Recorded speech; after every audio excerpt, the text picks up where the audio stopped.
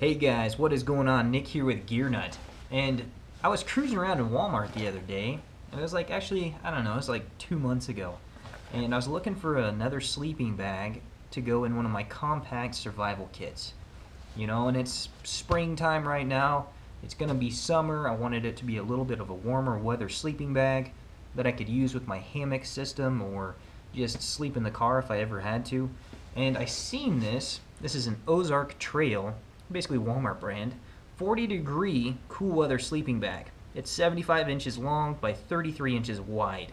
It's, I don't know, it's, it's, it's not the most comfortable sleeping bag I've ever slept in. I've took a couple naps with it. I've took and slept in it a couple nights. And I don't think that I could do 40 degrees in this sleeping bag. I don't think it's going to be warm enough for me, but everybody's different, so maybe it would work for you. If I was going to do 40 degrees with this sleeping bag, I would probably have to have a liner or something else to help supplement some more heat for me. But I feel for my hammock trips that I'm going to be going on and sleeping in the car this summer and stuff like that, this is going to be a perfect, compact, little sleeping bag system.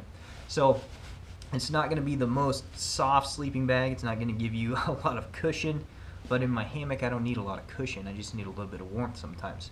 So that's the reason I picked this up. If you guys haven't checked these out, they are about 39 bucks, 40 bucks at Walmart.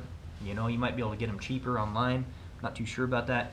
But the the size of this thing is crazy. It, it blew me away. I was like, is that a pillow? Is, that, is this a camp pillow? No, it's a sleeping bag.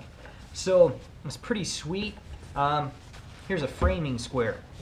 So we're sitting about nine and a half inches. Let me get you guys a better angle for this, huh? So we're sitting about nine and a half inches right there. Not sure about the lighting. And probably about six inches wide. So nine and a half inches long by six inches wide. Plus, you still got some other compact squeeze room. you know, I don't think I got this thing cinched down.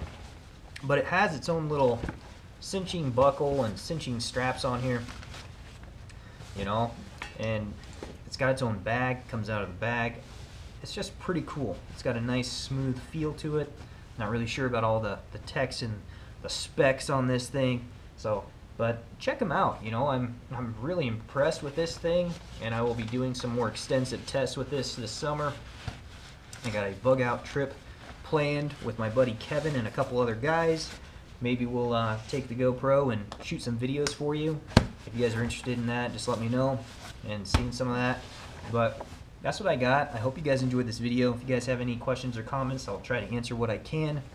But I'm really impressed with this sleeping bag so far. So, uh, yeah, if you guys like this video, give me a thumbs up.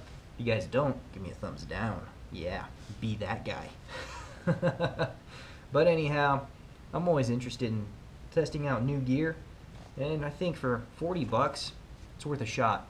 Maybe a shot in the dark, but we'll find out if we like it.